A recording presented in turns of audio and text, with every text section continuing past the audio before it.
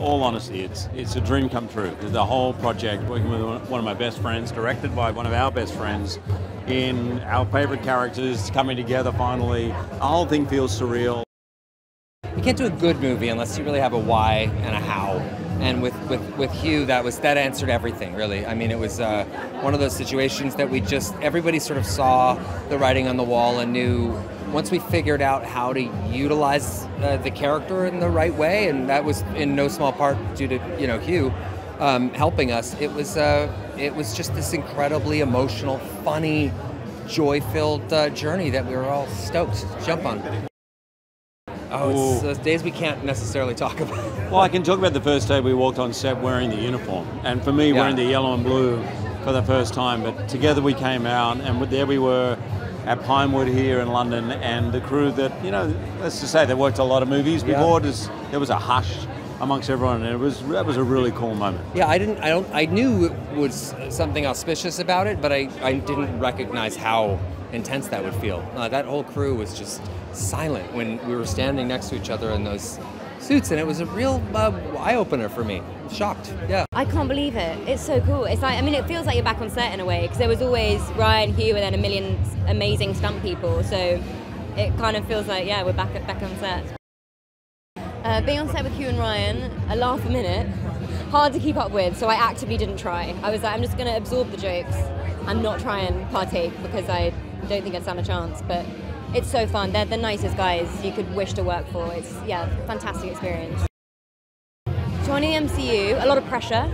It's the first buzzword I would say. Um, but an honour as well. I mean, I didn't grow up with the films that much. I'm sort of coming to them later in life, and it's blowing my mind. Like the community, the heart in all these stories, the fact that children, the amount that children can get from it, as well as people throughout their adulthood, no matter who you are, what stage of life, they're just they're so inspirational, and it's it's an honour.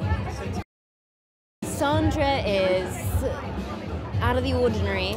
She plays by her own rules. I think she's very much the story of her own story, had the hero of her own storyline. Uh, yeah. You have to see this film on the big screen. I just found out about something called like 4X today. Wind, rain.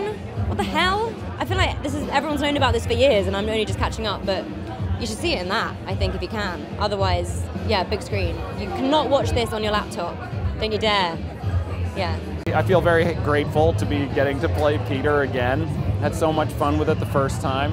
And uh, yeah, to do it on an even bigger canvas with Wolverine, I mean, come on. Well, the reason you should see this on the cinema in the big screen is because it's a big movie. It's a loud movie. It's a beautiful movie that thousands of people worked very hard on. So why not go see it in darkness, surrounded by friends and strangers, and just have a blast? Do it.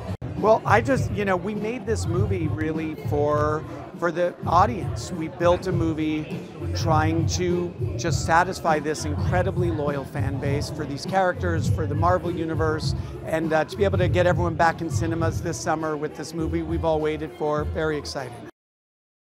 I mean, I knew going in that directing the first ever R rated MCU movie was a privilege. It was definitely an opportunity, and I came at it really excited and grateful.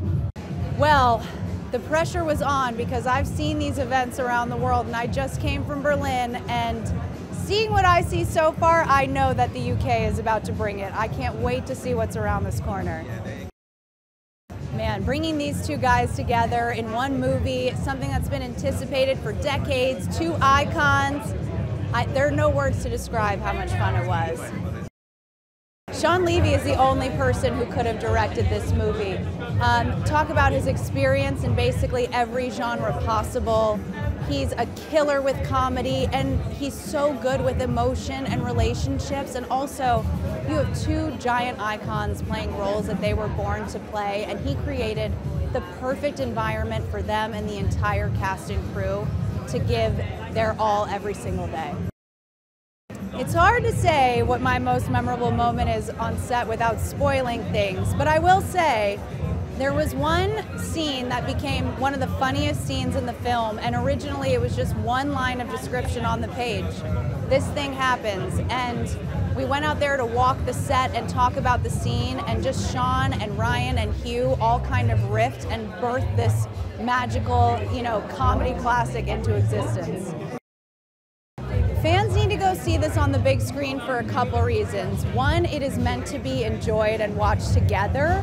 And secondly, we just had some of the most skilled craftsmen and artisans on this film. So there is so much detail in every single frame, everything you see, and it really deserves to be seen on a big screen.